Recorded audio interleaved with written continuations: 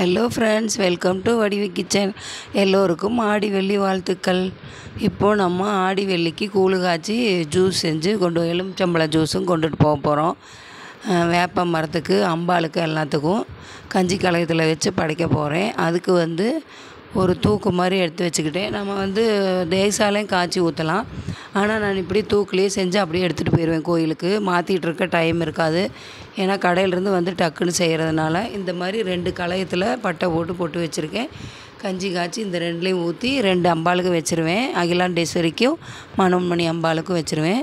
அப்புறம் இந்த மாதிரி அரிசியை வந்து மிக்சியில் போட்டு நல்லா இந்த கொர கொரன்னு அரைச்சி வச்சுக்கிட்டேன் ரவா பதத்துக்கு. தண்ணி ஊற்றி இப்போ இதெல்லாம் கழுவி அந்த தண்ணி கொதிக்குது அதில் ஊற்றிக்கலாம் நான் வந்து கால் தூக்கு அளவுக்கு தண்ணி வச்சுருக்கேன். அதாவது மூணு சொம்பு தண்ணி வச்சு ஒரு டம்ளர் அரிசி வந்து மிக்சியில் பவுடராட்ட அதாவது குறன குறனையாக அரைச்சி அது தண்ணி கொதித்ததில் தூக்கில் ஊற்றி வச்சாச்சு. இது நல்லா கொதிச்சுக்கிட்டு இருக்கட்டும்.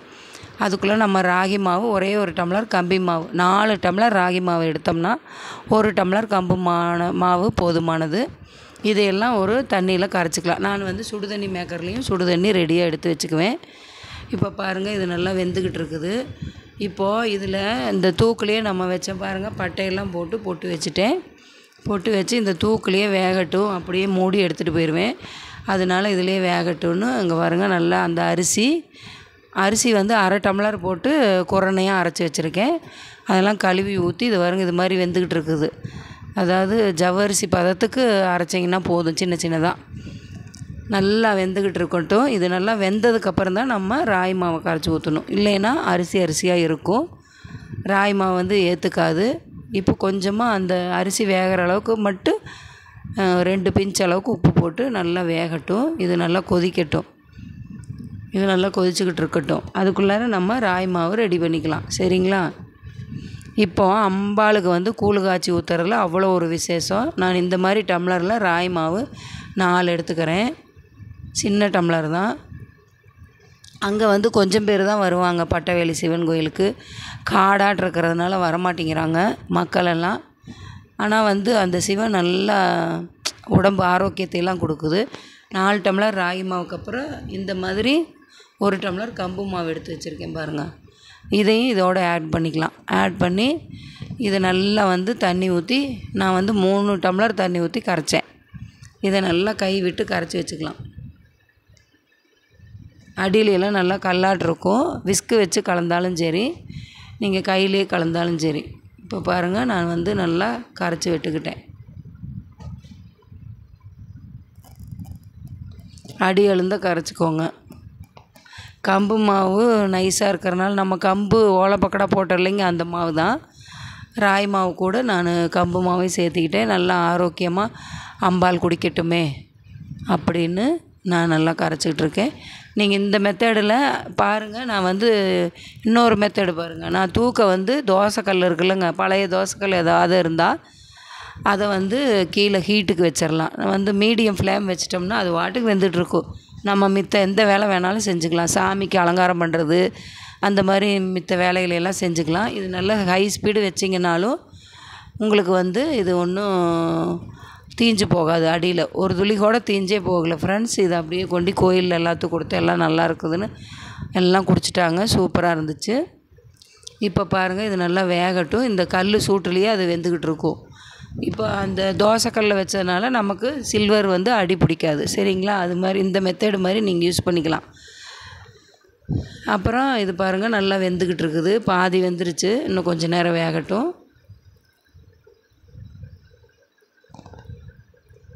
இப்போ அந்த ராய் மாவை கரைச்சி ஊற்றிக்கலாம்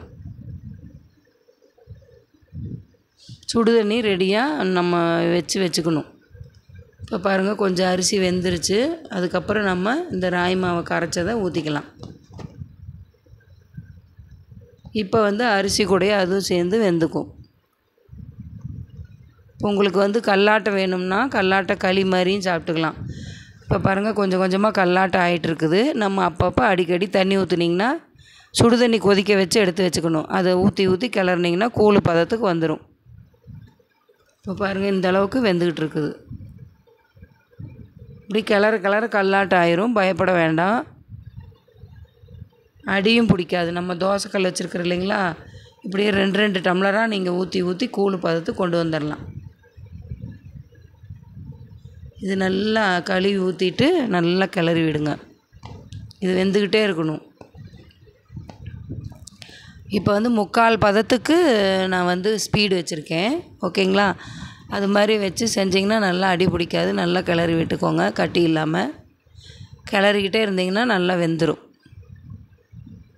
அடி அழுந்து கிளறுங்க. இது மாதிரி கூழு காய்ச்சி பாருங்களேன். வீட்டில் இருக்கிறவங்களும் நல்லா சாப்பிடுவாங்க நிறையா. நாங்கள் மீதி ஒரு டம்ளர் கோயிலில் மீதி ஆயிடுச்சு அந்த ஒரு டம்ளர் கொண்டு வந்து அடுத்த நாளும் சூடு பண்ணி குடித்தோம் சூப்பர்பாக இருந்தது. அப்புறம் நான் எலுமிச்சம்பழம் புழிஞ்சு எடுத்துகிட்டு போக போகிறேன் ஒரு பத்து எலுமிச்சம்பழம் புழிஞ்சுக்கிட்டேன். இப்போ வந்து வெல்லம் போட்டுக்கலாம். இதை அரை தூக்க அளவுக்கு ரெடி பண்ணிக்கிட்டு வெல்லம் கரைஞ்சதுக்கப்புறம் வேணும்னா தண்ணி ஊற்றிக்கலாம் நான் ரெண்டு நார்த்தம்பழம் இருந்தது அதுவும் புழிஞ்சு ஊற்றிக்கிட்டேன் இது நல்லா கரையட்டும். நான் இது முக்கால் அளவுக்கு எடுத்துக்கிட்டு போய் எல்லாத்துக்கும் கொடுப்பேன். இதில் கொஞ்சமாக ஏலக்காவும் கொஞ்சம் ஒரு பிஞ்சு உப்பும் போட்டுக்கலாம். பாருங்கள் நாலு ஏலக்காய் ஒரு பிஞ்சு உப்பு எடுத்துகிட்டு போகிறேன் இதையும் சேர்த்து விட்டுக்கலாம். கல் உப்பு தாங்க எடுத்திருக்கேன் கரைஞ்சிரும். அம்பாளுக்கு செய்யும்போது கல் உப்பு தான் போடணும். தூள் உப்பு யூஸ் பண்ணாதீங்க. இப்போ இந்த வெங்காயமெல்லாம் நான் நறுக்கி வச்சுருக்கேன். இதை வந்து ஒரு டிஃபன் பாக்ஸில் போட்டு சாமிக்கு நெய்வேத்தியத்துக்கு வெங்காயம் போட மாட்டோம். இது வெறும் இது வச்சுட்டு மீதி வெங்காயம் போட்டு எல்லாம் சர்வ் பண்ணி சாப்பிட்டுக்குவோம்.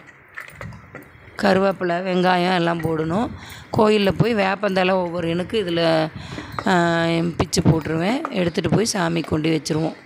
பாருங்கள் நல்லா கலர் மாறிடுச்சு சேஞ்ச் ஆயிடுச்சு நல்லா வெந்துருச்சு. இதை அந்த ரெண்டு பவுலில் கோயிலில் போய் ஊற்றிக்குவேன் ஊற்றி முடித்ததுக்கப்புறம் இந்த யூஸ் அண்ட் த்ரோ கப்பில் எல்லாத்துக்கும் வெங்காயத்தை சேர்த்து அதுக்கப்புறம் எல்லாத்துக்கும் கொடுத்துருவேன் ஃப்ரெண்ட்ஸ் பாருங்கள் கலர் மாதிரி சேஞ்ச் ஆகிருச்சு இப்போ உங்களுக்கு தேவையான அளவு உப்பு போட்டுக்கலாம். நம்ம முதலே கொஞ்சம் உப்பு சேர்த்துக்கிட்டதுனால கொஞ்சம் உப்பு போட்டுக்கிட்டோம். இப்போ சுடு தண்ணி கொஞ்சம் வச்சு ஊற்றிக்கோங்க நல்லா கொதிச்சுக்கிட்டே இருக்கும். இப்போ பாருங்கள் கூழ் பதத்துக்கு குடிக்கிற பதத்துக்கு வந்துருச்சு. நமக்கு கூழ் ரெடி ஆயிடுச்சு எல்லாருமே பாராட்டினாங்க. பரவாயில்ல உங்கள் கூழ் வந்து ஆறுனா கூட தண்ணியாட்டவே இருந்தது. சூப்பராக இருக்குது அப்படின்னு சொன்னாங்க ஃப்ரெண்ட்ஸ் அவங்க எல்லாருக்கும் என்னுடைய வாழ்த்துக்கள். என்னோடய கூழை குடிச்சிட்டு சூப்பர் அப்படின்னாங்க. அதுக்காக அவங்களுக்கு என்னுடைய வாழ்த்துக்கள். அவங்களுக்கு இன்னும் மென்மேலும் நிறையா செஞ்சு கொண்டு போவேன் கோயிலுக்கு. இப்போ இதை மூடி அப்படியே எடுத்துகிட்டு போயிடலாம் ஃப்ரெண்ட்ஸ் கோயிலுக்கு ரெடி ஆயிடுச்சு கூழ். குடிக்கிற பக்கம் வந்துருச்சு பாருங்கள்